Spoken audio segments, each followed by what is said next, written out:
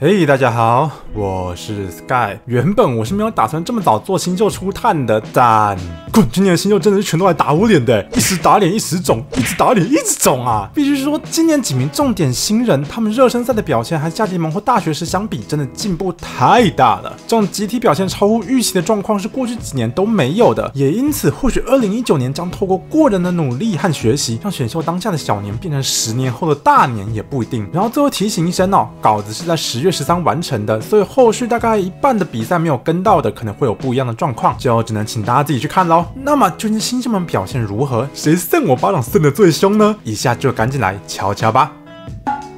啊，Rebary 的问题，我前面的影片反复提过很多遍了。第一就是 K 选秀接球脚步很差，第二就是下球切入不会善用脚步加速，以及第三比赛解读很糟糕，容易脑冲不受控制。但惊讶的是，这些问题在热身赛几乎全都得到了明显的修正。虽然三分准度还没出来，但善用垫步塞好双脚后才平衡的起跳出手，姿势也非常稳定。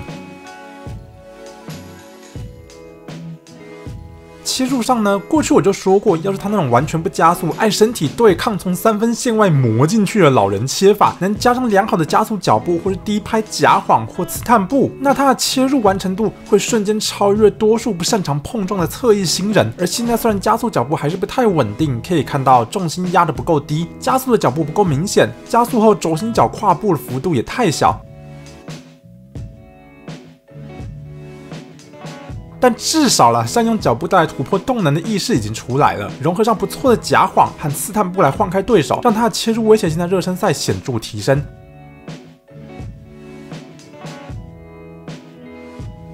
最后比赛解读上，比起 Duke 时期一球在手群魔乱舞，在尼克、Randall、Payton 等人帮忙掌控节奏，让 Barry 打球受控非常多，不在意过半场就脑冲，并且他切进去后分球意识也有所提升，偶尔能成功切穿找到外围射手。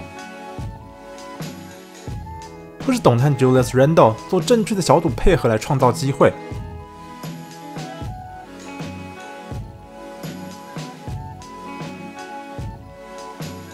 必须说了，能在一个夏天内就呈现出如此大且精准的改善，不难想见 Barrett 付出多少苦力和心思。因为我想，比起他的天赋，他那强烈的斗志所带来的竞争心，也许才是他最好的武器吧。我在选秀简评讲过，DeAndre Hunter 要是能接替下 Teron Prince 离队前练坏的接应终结者位置，那么老鹰这个选秀就算值得了。结果你猜怎么着？跟 Hunter 热身赛就已经打得比 Prince 离队前还好了。当然，Hunter 整体计算经验不到 Prince，我也不是说他现在就能完美 cover 住 Prince 的离队空缺，但 Hunter 热身赛把 Prince 会做的，甚至是不会做的工作，他全都做到了。选秀时我对 Hunter 最大的诟病就是进攻底子，包含投射姿势、进攻的脚步、禁区终结的手段等。等处理球和传球的能力更是毫无期待，但是热身赛 Hunter 整个投篮姿势变得非常稳定，不会像过去上下半身有分离、失力不均的感觉。从起跳到投出一气呵成，下球后的加速脚步虽然进步不明显，重心还是颇高，禁区终结的手段也不多，但他善用高大的身材去架开防守，在对抗后上篮得分，能对抗这点以新秀来说就算值得称赞了。更可怕的是，我从没想过 Hunter 会具备的切传能力，他也在热身赛好几次做出来，接应后袭来防守，立刻。传传导到弱边射手位，解读又快又好，这是他大学时期看不到的，也是 Prince 练了三年都练不好的。结果他大哥一个夏天就长出来了，这些都让 Hunter 的接应变得更具威胁性。只能说老鹰这投资真的值得了。Hunter 看起来不仅能接下 Prince 的功能，成为加强版的 l u a Dan，我想指日可待呀。不对，还有他防守超爆更好，身为一名真的啊，只有爽而已啊。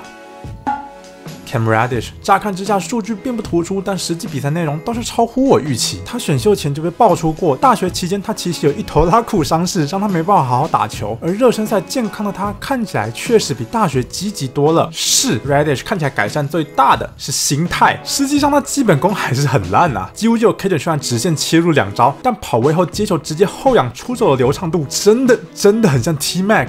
下球后在禁区终结也勇于对抗，展现协调性。而本来啊，他的天赋就没有问题，他的问题始终是在不够积极。也于是这是在果敢的表现，瞬间让他的发展乐观了许多。更别说他挡拆后确实有分球的能力，控球前锋的潜力毋庸置疑。只要心态不崩，随着基本功提升，我想 Radish 的成长仍旧值得期待。八村垒虽然我觉得还是在我预期中，但不得不说他的表现成长的速度真的也很有打脸我的趋势啊！即便中距离单打在更强势的防守之下命中率低迷，但其实八村都要把空档创造出来，那样沉稳简单的技术真的让我蛮有口外刚进联盟的既视感啊！就未来想必会是他和巫师半场重要的武器，同时挡拆或接应时擅长抓时间差去走位和切入的意识，更是最大程度解放了他的体能。因为我也在选秀观察说了，他不是那种爆发力非常强的球员，他的弹跳和爆发展现最好的情况就是有空间让他双脚站定起跳的时候，就让他热身赛最精彩的这球灌篮这样，第一拍抓时间差切过回防不及的防守者，第二拍直接垫步后双脚起跳，而最后呢就是精彩的单手重扣了。在三分投射有提升，中距离应该也能随着时间越来越稳之下，除了高智商版 Markif Morris 以外，我甚至还看到一些呃不会拿球敲别人头版本 Marcus Morris 的影子。如果他能练成 Morris 兄弟的稳定版本，那第九顺位毫无疑问是个非常值得的投资啊！好好好，我知道大家快受不了了。再来呢，终于就要提到那个飞天遁地的巨大生物，那个如同巨炮横扫战场的怪物坦克，那就是。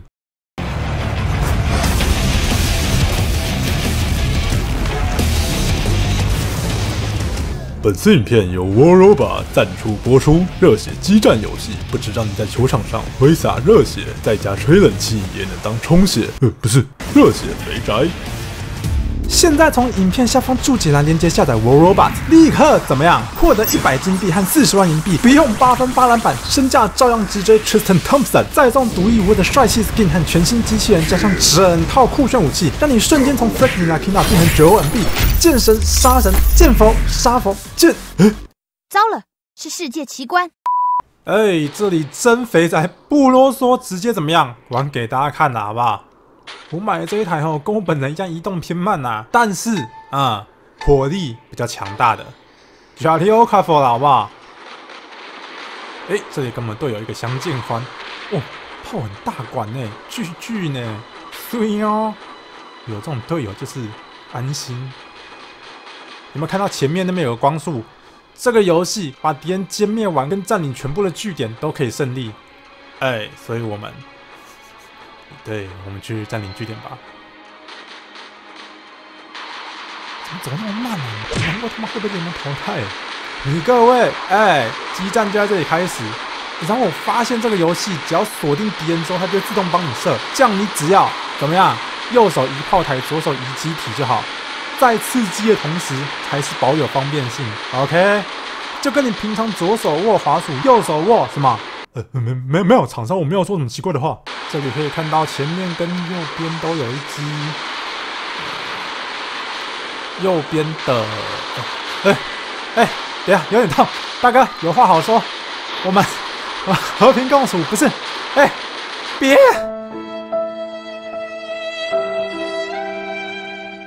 死去。没错，不用再等啦！稳定更新，控制游戏品质，全球百万玩家同时在线对战，超过五十种机械和武器任你组装排列组合，自己算算有几种可能啊？到底有几种？不要问我。我文组，另外还有二十种有独特技能的驾驶任你选，以及超多种类 skin 地图任你玩，同时多种游戏模式可以和朋友共同作战杀敌，占领据点也可以参加联赛争夺荣耀，就是这么热血这么嗨！你平常怎么射都射不好，射歪射到墙上吗？呃，我说篮球，立刻下载 War Robots，让你一时乱射一时爽，一直乱射一直爽。这这这他妈的，请我刚是被夜配了吗？呃，对。总要接一次才知道什么感觉嘛。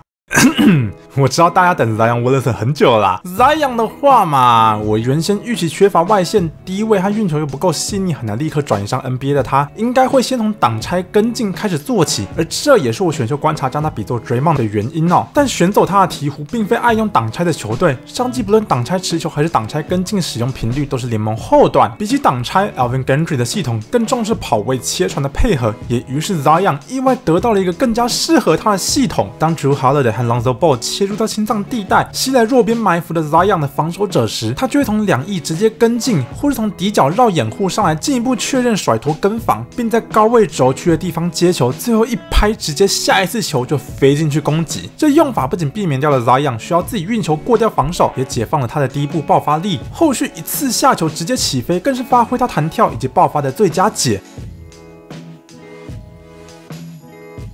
不论是直接飞进去一对一对抗，还是一拍下去后垫步或转身，都快到难以阻挡啊！灵敏但小只一点的会被撞飞，大只但太慢的会直接被切穿。最后不论是谁试图护框阻挡，都会被他坦克冲撞后赔上犯规。最扯的是，倘若防守为了阻止 Zion 而带来大量的协防，他还能正确分球出去给入边射手。请问这要怎么守？除了他的膝盖以外，真的没人守得住啊，好不好？当然，开机后各队势必会绞尽脑汁去研究怎么堵他，而连 Yanis 那种怪他都堵得住了，Zion 总有一天也会被堵住的啦。但他的分球视野和意识在起点就已经甩 Yanis 一条街了。当对手越想阻挠他，我想只会激发他越来越进化。简单来说呢，Zion 的热身赛基本上证明了他是绝对的真货，所以鹈鹕迷们可以安心服用了啦。每年选秀都会有一两个在大学只是平凡以上，上 NBA 后突然变一个人，全面升级的家伙。而今年的黑马无疑就是 Nickel Alexander Walker。在大学是样样通样样松的他，来到 NBA 后外线手感突然稳到一个令人难以理解啊！在热身赛 NAW 虽然不是百发百中啦，但他的出手姿势不论跑位接球还是自行持球拔起，甚至不论是空档还是防守已经贴到他脸上了，都稳定到不可思议，像是机械般精准，并且出手当下会带来强烈的安定感，让人有种。哎呦，这会进哦的感觉，然后就真的进了。同时，NAW 算组织上还需要适应 NBA 的强度，会有以为嗯这应该传得过去吧，结果就被抄走的传球。但从他传球的目标来看，他的空间感非常好，对整个进攻的理解也非常的高，再加上一向是他卖点的防守功夫，NAW 看来真的会是类似 Donovan Mitchell 那样超越原本模板甚至天花板的球员。即便在鹈鹕，他一时三刻很难有先发机会，我想新秀年他仍有望在板凳大放异彩。Jackson Hayes 这几场大多都是乐色时间上去，比较具参考价值的应该是爵士那一场和 Rudy Gobert 对位期间，而在那几分钟内，Hayes 又让我惊艳了好几回啊！防守上虽然 Hayes 被康利和 Gobert 挡拆各种教育，但他的机动性毫无疑问可以补出来外面协防 NBA 等级的后卫，横移非常快而灵活。同时，Hayes 在防守意识上也有不错的表现，站位以新秀来说算是可圈可点的啦。这球面对 Gobert 直接抽椅子让他失误也非常的聪明啊！最重要的是，在面对狗贝尔这种年度防守球员级别的护框下，Hays 两次展现极佳的协调性，把球在挡拆后摆进篮筐。一次呢，是一手架着康利单手接球后，在狗贝尔防守下抛进。一次则是在和狗贝尔对抗后拉杆擦板摆进，这两球让我们看见了 Hayes 的协调性有多好。这种接球和放篮的柔软度，以一名七十大个来说，根本是超稀有才啊！就如同 NAW 的外线手感异常的好一样，Hayes 这种极佳的放篮手感，配上他的天赋，让他的可能性又变得更加充满遐想。尤其比起 Derek Favors 这种持球型的内线，Hayes 这种专责挡拆和二波跟进的类型，更加适合鹈鹕体系。假如他能持续按照这幅度进步下去，明年 Favors 合约到期后直接扶正。他，我想都不是不可能哦。P.J. Washington 大概是热身赛最惊奇的球员了。即便选秀时被定义为极战力类型，导致需要天赋的黄蜂选下他后，几乎人人喊打。但 Washington 比起原本预期的板凳水准极战力，现在看来反倒是先发水准的极战力，甚至可说是热身赛黄蜂阵中少数稳定的存在。呃。不，事实上，他其实就是黄蜂射身在目前为止的得分王啊！射身赛期间华盛顿的三分姿势极度的稳定，不论挡拆 pop 出去，还是绕掩护出来 catch 数，或是单纯的接应，只要空档有出来，都能稳稳投进。且挡拆走位的翼身接受放篮的技术，的 Kentucky 也被训练良好，有在对抗下放篮的能力。另外，虽然展现的机会不多，但 Washington 还有些策应的能力。整体来说呢，就是一个非常全方位的延伸四号，而且完成度远比想象中来的更高。虽然看起来已经接近完全体能，开发的不多，不过这种高战术价值、聪明又稳定的内线，说实在了，能在乐透选到，其实也算非常值得了。至少接上 Marvin Wallace 过去在四号的功能，应该是没有问题的。Jared Cofer 是前段顺位最符合原先预期的球员。为了不擅长接应、擅长自己带球打挡拆的他，会让热身赛完全把板凳的单刀突破点给他发挥。而 Cofer 也不负众望，他的基本功真的非常非常好，让他缺乏第一步速度，仍能莫名其妙挤进篮下，像是运用变速和加速。这里呢，则是一个 head fake 后转身。还有他一直都非常擅长的转身切入等等，非常有当烂仗王的潜力啊。但禁区禁区后，一来是没有起跳的爆发力，让他非常容易被协防的球员盖锅。二来是放篮手感不稳定，就算顶开对手也容易放枪。而手感这方面，连带外线也不是很稳，也导致 Cover 整体命中率并不算好看。而虽然呢要适应强度还有一段路，但灰狼已经给了他最好的环境，且 Cover 缺乏天生手感，但善用脚步来弥补这一点，真的非常有 Jimmy Butler 的感觉啊！又具备良好的篮球智商和苦练特质，天时地利人和都在，剩下的我想就只能等时间来证明了吧。在 NCAA 算聪明但技术全不能的 Nas Reed，上 NBA 后工作简化，只要发挥头脑，做好站位走位后，突然就变成一名颇为堪用的内线球员了。其同位置上热身赛 Noah Van l e 发挥的更加老练稳定，所以 Reed 新赛季，嗯，恐怕还是得现在发展联盟蹲一下吧。Jordan Poole 从夏季联盟到热身赛，算是完全把身价打出来。他的跑位能力和绕出掩护后迅速稳定的 catch and shoot，简直纯熟的像是在勇士打好几年了似的。同时，他在防守注入的拼劲和良好的防守智商，让他同时在攻守两端带来益处，是一名非常适合勇士体系的球员。如果未来能适应 NBA 对外线的 close out 强度，我想 Poole 有可能成为先发级的射手。Kobe White 真的是一上场就全力冲刺，挡拆后有空隙，投。跑位后绕出来接到球，投，快攻中停在三分线接到球，照样投。只要有一丝机会，White 就会毫不犹豫的出手。而且虽然不稳定，但他确实可以命中，真的很有人来疯的特质啊！加上他的挡拆切传在热身赛也有展现，挡拆又杀伤力以板凳来说，真的还算蛮不错的，非常符合我期待中公牛板凳暴徒的感觉。新赛季有他从板凳出发，公牛的替补火力应该能比上季进步。至于 White 能不能打上先发，呃，至少啦，在 Satoransky 还在的时候，我是没看到这个可能性就是了。好的，虽然一开头说定稿于十月十三，但后来呃看了其他场比赛之后，我还是忍不住写了。所以以下呢是后续比赛中新增的内容。OK，Tyler Hero，想当年他一进 Kentucky，我就爱说这家伙是 Devin Booker 二点零啊，没想到怎么样，他现在完全打脸我啊！是的，他最好是 Booker 二点零的，Booker 哪会传球啊？Hero 大学时期撞墙最大的，第一，他高中是习惯高难度出手的持球射手，结果大学外线 close out 强度陡升，导致他出手很不舒服。第二，他接球投射的脚步其实不太稳定，让他大学时期 catch 球的效率其实偏低。但这些问题在热身赛全部解决，绕眼护帅 K 点数被防守前后夹击，照样投得进。挡拆后被严重干扰，一样各种拔各种进，什么高难度出手都难不倒他。这强悍的 top shot 水准真的完全堪比 Booker。更可怕的是，Hero 还展现出高水准的分球视野。像这一次可以看到，他切到高位时，禁区是全空的，两边底角的协防都没有进来。而这时 Jimmy Butler 发现了禁区大空，直接空切，Hero 立刻正确判断传给他，让他吸来协防，再转传给弱边跟进的 l e n a r。这一球则是可以看到热火这里作为一个西班牙挡拆。Hero 替 roll in 的 Adbio 掩护后 pop 出去，把 Adbio 的防守者也带了出来。这时弱边的 Jabari Parker 就得决定他要守三分还是守 Adbio。而一看到 Hero 把球往射手带，Parker 立刻选择出去，但 Hero 这时就做出完美阅读，分进去给 Adbio，可惜被犯规犯掉，没有拿到助攻。至于这两球，则分别是典型的分小球给跟进常人。